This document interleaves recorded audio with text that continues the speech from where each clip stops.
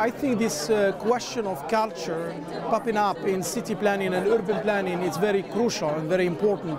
Why? Because heritage and heritage conservation is moving from the uh, conservation per se as a static heritage, uh, moving to the realm of culture.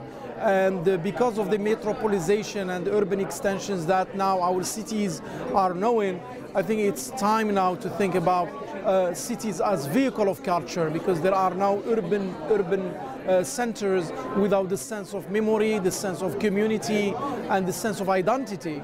And uh, culture is bringing all that again to the city fabric.